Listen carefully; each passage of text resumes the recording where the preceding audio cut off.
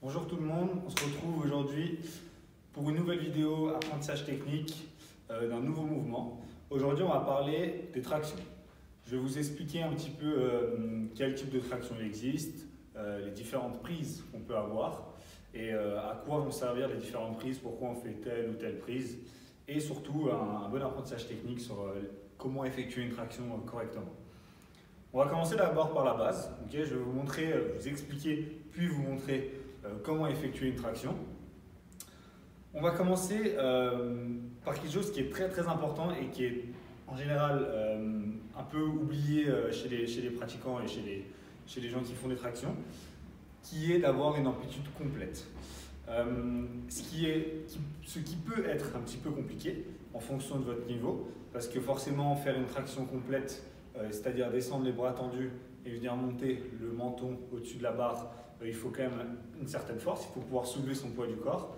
Euh, mais même si vous avez du mal à le faire, il faut essayer vraiment de s'entraîner à faire une traction complète et ensuite venir progresser sur le nombre de reps ou quelque chose ou, après essayer de mettre un peu plus de difficulté. Mais essayez vraiment d'abord, même si vous en faites moins, de vraiment faire une traction complète.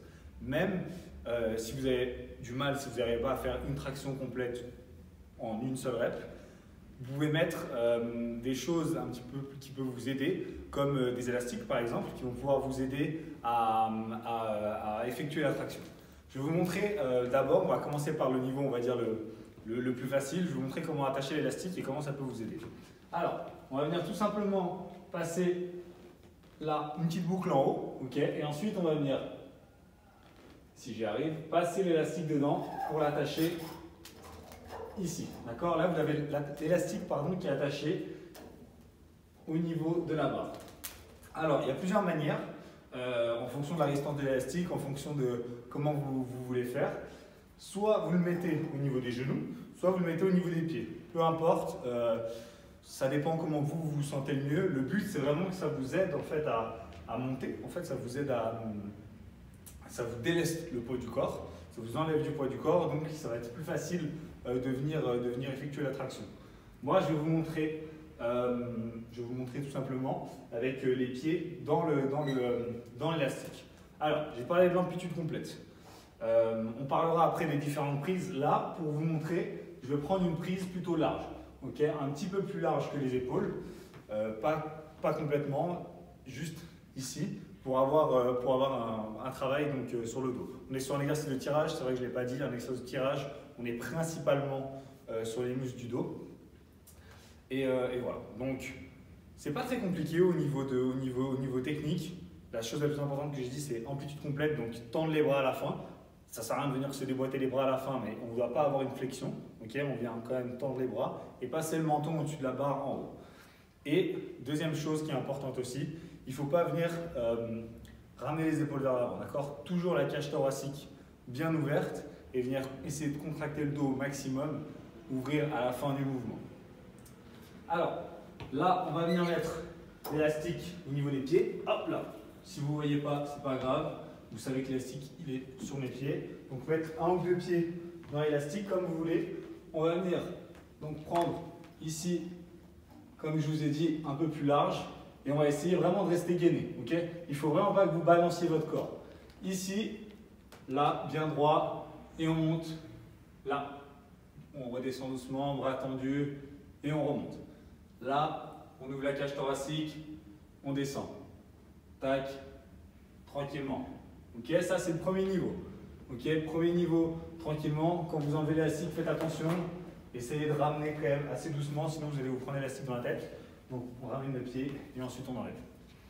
Donc là, on est sur le premier niveau. Deuxième niveau, on va essayer de le faire sans élastique. Ok, je vous montrerai après. Euh, pour avoir une amplitude, donc pareil, amplitude complète, exactement le même mouvement, mais sans élastique. Maintenant, on va parler un petit peu plus des prises. Avant que je vous montre, comme ça je vous montrerai les prises un peu plus sur le, le deuxième niveau, on va dire. On a des prises larges, on a des prises serrées, on a des prises en pronation, donc avec les mains comme je viens de faire Ici, on a des prises en supination, avec les mains à l'inverse. Ces différentes prises, elles vont avoir différents impacts musculaires. Au niveau de la largeur, plus vous allez prendre large, plus ça va être difficile, et plus vous allez travailler enfin, plus vous allez travailler votre largeur de dos. Il ne faut pas non plus prendre complètement large, évidemment, parce qu'après, on n'a plus du tout euh, d'engagement du dos et ça devient beaucoup trop dur. Mais en général, vous pouvez prendre ici, là, à peu près la largeur, on va dire maximale. Vous allez travailler quand même beaucoup votre grand dorsal ici, en largeur. Plus vous allez rapprocher vos mains, alors les mains rapprochées, ça peut, on peut le faire, plus vous allez travailler l'épaisseur. En général, quand je conseille, là on ne peut pas le faire, mais quand on vient rapprocher les mains, si on peut prendre une prise neutre, ok, donc au lieu d'être en pronation comme ça, on va être en prise neutre, ça peut être optimal. On va travailler vraiment l'épaisseur euh, sur ces prises un peu plus rapprochées. ok? Plus on écarte les bras, plus on travaille la largeur du dos, plus on rapproche les bras, plus on travaille l'épaisseur du dos. Maintenant, on va parler un petit peu plus de la prise de supination. C'est quelque chose qui peut être utilisé avant la prise de pronation. Pourquoi? Parce que c'est un petit peu plus facile. Tout dépend des gens, tout dépend des morphologies, mais en général, c'est un petit peu plus facile. Donc, on peut essayer d'abord par ça. Euh, et on peut l'utiliser aussi si on veut cibler un petit peu plus le travail des biceps. Vu qu'on va avoir un angle qui est différent, on va venir engager un petit peu plus les biceps. Euh, sur celle-là, donc c'est un petit peu le même principe, toujours sur la largeur et, et.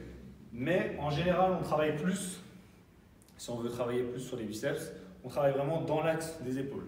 Donc toujours avec le même, euh, le même aspect technique, bras tendus, euh, menton au-dessus de la barre. Ça, ça ne change pas. Et la cage thoracique, pardon, bien ouverte. Donc là, on a parlé pronation, supination large, serrée et neutre. ok? Neutre vraiment utile pour l'épaisseur du dos, qui est vraiment cool à faire. Alors, je vais vous montrer un petit peu euh, donc la même chose que j'ai fait tout à l'heure. Je vais prendre un petit peu plus serré pour vous montrer, euh, pour vous montrer un petit peu la variante. Et on va essayer de, le faire, de se faire 3-4 répétitions sur la pronation. Et après, je vous montrerai la supination. Donc, tout à l'heure, on était là. ok? Là, on va venir rapprocher un petit peu plus. On va prendre la barre. Donc là, au niveau des pouces, vous avez vu, moi, j'aime bien garder les pouces au-dessus de la barre. Ça, c'est un petit peu votre préférence. Comme vous voulez, euh, soit les pouces au-dessus, soit les pouces en dessous. C'est vrai qu'avec les pouces en dessous, on a un petit peu plus de, prise, on est un petit peu plus agrippé, comme vous voulez. Ça, c'est un peu euh, en fonction de comme vous êtes le plus à l'aise et de comme vous arrivez mieux. Ça ne change pas grand-chose. Donc, on est ici, à peu près largeur des épaules, un tout petit peu plus large. Là, on va venir monter tout simplement. Montant et on monte. Tranquillement, bien stable. Ok? Ça, j'en ai pas trop parlé non plus. Mais je vais le redire, pensez vraiment à être bien, bien, bien, bien stable. Ok? Bien lever la tête, vers le, la tête vers le haut, pardon. Respirer en même temps. Et surtout, pas balancer. Je sais que c'est dur au début, mais essayez vraiment de vous concentrer pour garder le corps droit et gainer, pour venir vraiment engager le dos au maximum. Et pas venir utiliser le balancement euh, du corps pour s'aider. D'accord? Ça peut être sur la fin, euh, on, a tendance à utiliser le balancement, il faut essayer de le faire au minimum. Ici, on est vraiment sur. Euh, ça dépend de ce que vous voulez faire comme traction, mais là, moi, je vous l'explique vraiment pour engager vraiment bien le dos. C'est un très très bon exercice pour le dos. Donc, essayez d'être vraiment gainé, stable et bien ressentir votre dos. On va vous montrer, enfin, je vais vous montrer pardon, maintenant la prise supination. Donc, comme j'ai dit, un peu plus pour les biceps, qui est un petit peu plus facile que la prise en pronation et qui va pouvoir vous permettre de changer un peu d'angle. Je vais le faire largeur d'épaule, ok La même chose, je vais venir tendre les bras, monter le menton au-dessus de la barre et bien tirer la cage thoracique vers l'arrière, ouvrir la cage thoracique, pardon, et, euh, pousser les épaules vers l'arrière. Donc, ici, là, on va venir tranquillement et on va venir tirer là. On descend et on monte. Tac. Là et on monte. Voilà. On descend. Bras tendu. On peut faire une petite pause en bas si jamais on a besoin de gainer. Et ensuite, on vient tranquillement se reposer. N'hésitez pas à faire des petites pauses en bas si vous, avez besoin de vous recentrer. Des fois, quand vous commencez à être fatigué, c'est normal. Vous pouvez commencer à tanguer un petit peu. On vient, on contrôle, on se concentre, on monte menton au-dessus de la barre et on redescend tranquillement. Donc voilà, je vous laisse essayer un petit peu euh, ça. Donc là, euh, une barre que vous pouvez faire. On a choisi de faire cet exercice parce que vous pouvez vous entraîner dehors dans n'importe quel parc. Normalement, il y a des barres un peu partout. Euh, essayez d'aller dehors quand même. Essayez pas de le faire chez vous à des endroits un peu bizarres. essayez, de, essayez vraiment de le faire dans les parcs.